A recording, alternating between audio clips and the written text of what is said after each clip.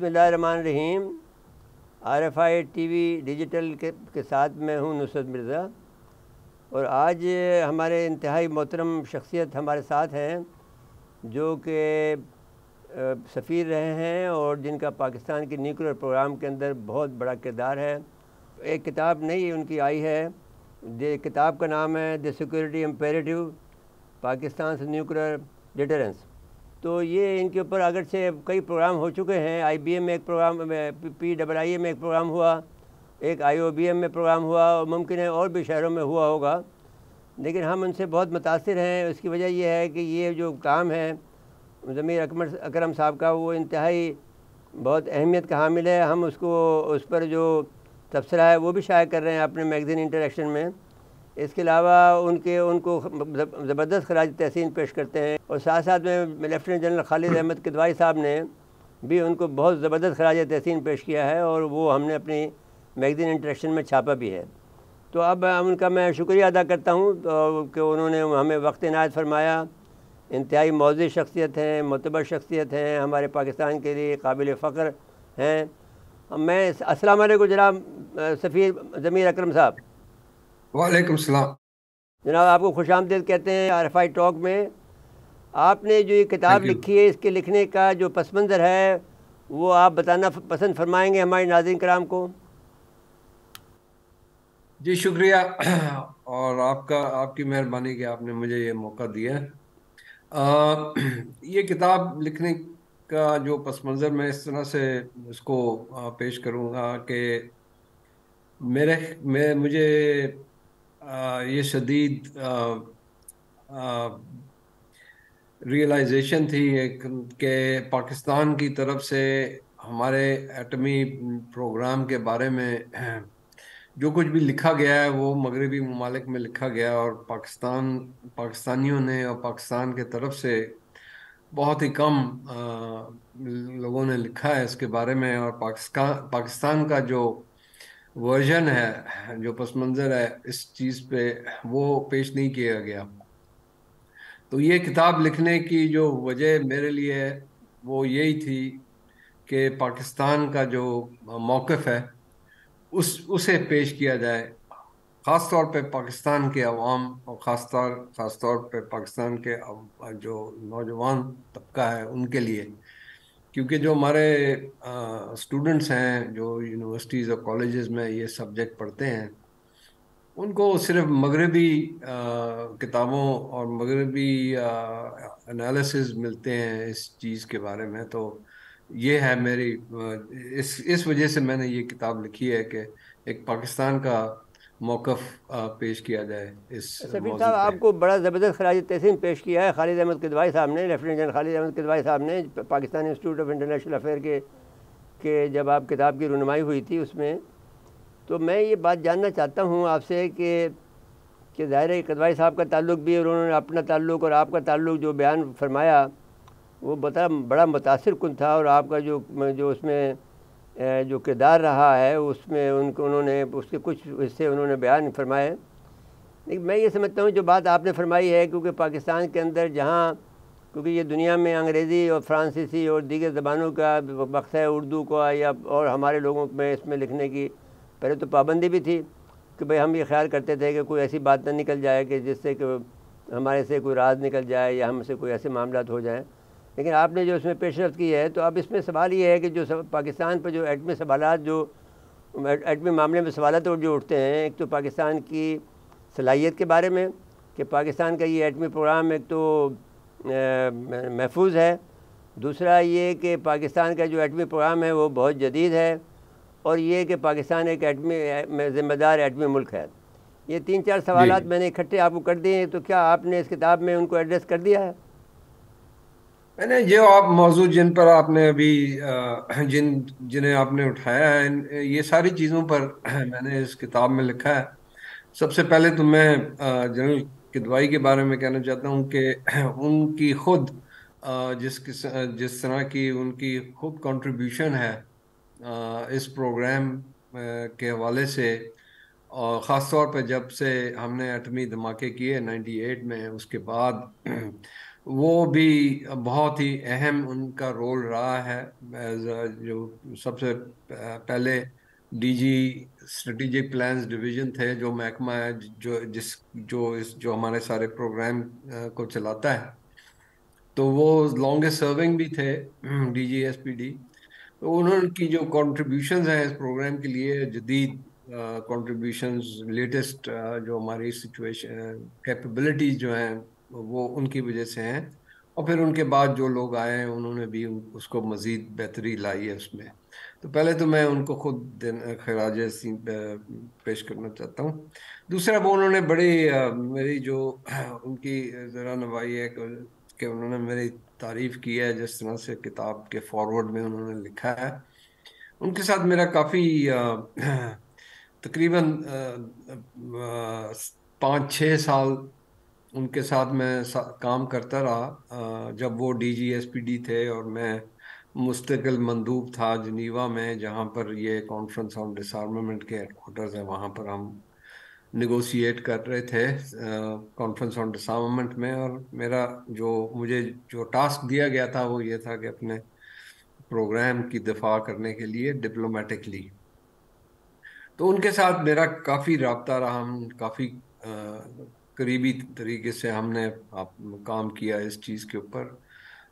सो एक तो ये बात मैं करना है। दूसरी ये कि हमें किसी चीज़ की, के लिए हमें छुपाने या के लिए या किसी चीज़ से हमें डरना नहीं चाहिए। हमने, हम, जो कुछ भी है हमारे पास या जो कुछ भी हमने किया वो हमने अपनी सलामती के लिए किया है और हर मुल्क का हक होता है कि वो अपनी सलामती के लिए जो भी इकदाम लेना चाहता है वो ले। और हमने भी यही किया है। तो हमें इसके लिए कोई अपोलोजेटिक नहीं होना चाहिए कि, क्योंकि ये इससे हमने अपनी सलामती के लिए ये इकदाम लिए हैं। दूसरे ममालिक ने भी जिस तरह से जिनके पास हैं ये हथियार, उन्होंने भी ये तो उन, वो हमें तनकीद का निशाना नहीं बना सकते क्योंकि उनके पास भी यही हथियार है। हमारा जो सलामती का मसला है, वो वो उसकी वजह सबको पता है, हम सबको पता है, वो है हमारा हमसाया मुल्क हिंदुस्तान, जिसके साथ हमारे मुश्किलात हैं आप जानते हैं डिस्प्यूट्स हैं कश्मीर है लेकिन जो उससे सबसे ज़्यादा जो मसला है हिंदुस्तान के साथ वो ये है कि हिंदुस्तान चाहता है कि वो खत्े में आ, उसका हजमनी हो उसकी उसका इन्फ्लुएंस हो तो वो ये उसकी परसूट में हजमनी की परसूट में उन्होंने ना सिर्फ़ अपने जो कन्वेंशनल जो आर्मी आर्म फोर्सेस हैं, उसको तजदी दी है और उसको बढ़ाने और उसके अंदर जो भी मॉडर्नाइजेशन और और इंक्रीज हुआ है, उसके अलावा उन्होंने ये एटमी हथियार भी हिंदुस्तान ने शुरू किया इस खत्े में बनाना। तो उसका जवाब हमने हमने दिया, ये तो उन्होंने तो शुरू किया था 1974 में। उसके बाद फिर हमें अपना प्रोग्राम शुरू करना पड़ा अपने, अपनी सलामती के वजह से। तो माशाल्लाह हमने अभी एक, इस सतह पर हम पहुँच गए हैं कि हमने अपना दिफा जो है वो बिल्कुल मज़बूत किया हुआ है हिंदुस्तान के ख़िलाफ़ और हिंदुस्तान हमें किसी तरह से नुकसान नहीं पहुँचा सकता। इसके साथ साथ हमने एटमी तोानाई को अपने जो पीसफुल यूजेस हैं पावर जनरेशन है न्यूक्लियर मेडिसिन में है ये ऐसी चीज़ों में भी हम ने पेशरफ्त की है।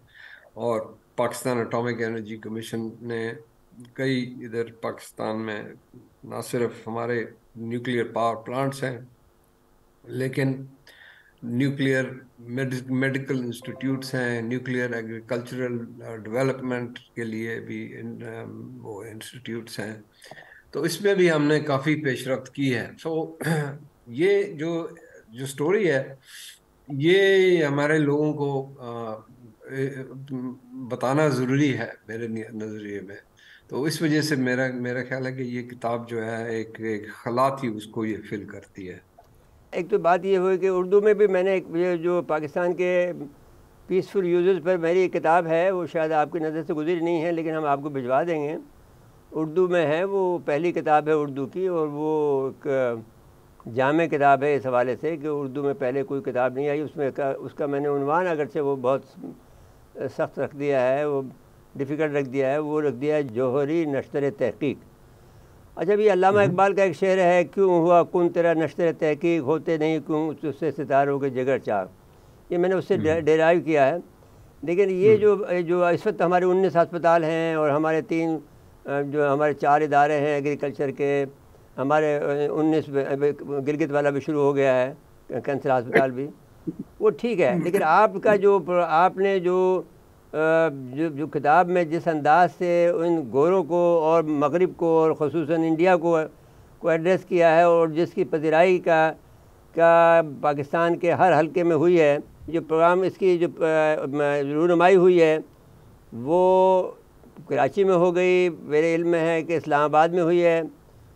तो और कहाँ पे करने का इरादा आपका है? um, अब तक तो कराची में दो दो मर दो जगहों में हो चुकी है। एक तो Pakistan institute of international affairs जो पहला जो लॉन्च था जो हुआ था वो वहाँ हुआ था। इस साल मार्च में हुआ था जब किताब शायद मालूम है मुझे मेल में अब इस थोड़े दिनों पहले आपको याद है में हुआ। कराची में। इंस्टीट्यूट ऑफ़ बिज़नेस मैनेजमेंट के वहाँ भी हुआ। इसके अलावा लाहौर में हुए इस्लामाबाद में है मुजफ्फराबाद में अभी कुछ हफ़्ते के अंदर कोयटा में भी होगा। और बैरून मुल्क मैंने जिनीवा में किया वियना में लंदन में बर्लिन में और हेग में ब्रसल्स में न्यूयॉर्क और वाशिंगटन और हार्वर्ड यूनिवर्सिटी में भी तो कई जगहों में इस किताब के बारे में बुक इवेंट्स हुए हैं तो काफ़ी इसको फरोग इस, मिली है। को इस किताब को लेकिन इसका इसके साथ तो... साथ मैं आपको ये भी बता दूँ कि आपके नाजरीन जो है उनको ये हैरानगी होगी ये सुन के या शायद हैरानगी ना ना हो कि इस किताब को मेरे पब्लिशर्स ने अमेजोन पर डाला था। जी। और छः हफ़्ते तक ये किताब अमेजोन पर थी। फिर उनको मेरे पब्लिशर्स को ईमेल आया अमेजोन की तरफ़ से। कोई इंडियन खातून ने उनको लिखा कि जनाब हम ये किताब को ब्लॉक कर रहे हैं अमेजोन पे। और जब वो पब्लिशर्स ने उनसे पूछा कि आप जी क्यों ब्लॉक कर रहे हैं? आपने तो साइन कॉन्ट्रैक्ट किया हुआ है हमारे साथ। छः हफ़्ते आपने किताब भी रखी हुई थी। अभी आप अचानक क्यों ब्लॉक कर रहे हैं? तो उन्होंने कोई जवाब नहीं दिया और उस किताब को ब्लॉक कर दिया मुझे मेरा अंदेशा ये है कि इस किताब में ऐसी चीज़ें हैं जो हिंदुस्तान के लोगों को पसंद नहीं आई है। क्योंकि मैंने कुछ चीज़ें उनकी सामने ले आए हैं जो वो छुपाना चाहते हैं। उनके उनके जोहरी प्रोग्राम के बारे में उनके एटमी प्रोग्राम और वो जिस तरह से वो अपने प्रोग्राम पर कर रहे हैं। नहीं एक तो, तो एक तो आप मतलब ये बात क्या इसमें है? जैसे हमारे यहाँ दो बच्चों ने चार बच्चों ने लिखी थी कि उनका प्रोग्राम जो है अनसेफ गार्डेड है। एक तो ये बात। दूसरी बात ये है कि वो डबल एक्शन ले रहे हैं वो एक तरफ़ तो आई के नज़र में है कुछ उनके जो जो उनके बहुत बहुत बहुत सी चीज़ें हैं हाँ। बहुत सी चीज़ें लेकिन जो चीज़ें में मैंने आ, क्योंकि देखिए पाकिस्तान के बारे में जो इल्ज़ाम लगाया जाता है ना मगरबी ममालिक में कि जी आपने nuclear proliferation Pakistan nuclear proliferation करता है। तो इस वजह से पाकिस्तान को हम एटमी वो, वेवर नहीं देंगे जिस तरह से हिंदुस्तान को दिया और ये न्यूक्लियर सप्लायर्स ग्रुप का और ये ये चीज़ें। तो उसको मैंने बाहर सामने सीप सब चीज़ें ले आया हूँ विथ प्रूफ कि ना सिर्फ़ हिंदुस्तान बल्कि अमेरिका ने भी प्रोलिफरेशन की है। तो और हर इंसिडेंस इंस्टेंस को मैंने बताया कि यहाँ यहाँ आप देखें, ये इन्होंने ये प्रोलिफरेशन की है तो ये कहना अमेरिका की तरफ़ से या हिंदुस्तान की तरफ़ से कि हिंदुस्तान की तरफ़ से कोई प्रोलिफरेशन नहीं हुई तो ये बिल्कुल सरासर गलत बात है। नाजिन कराम इसके बाद ये लेते हैं ब्रेक और ब्रेक के बाद हाजिर होते हैं।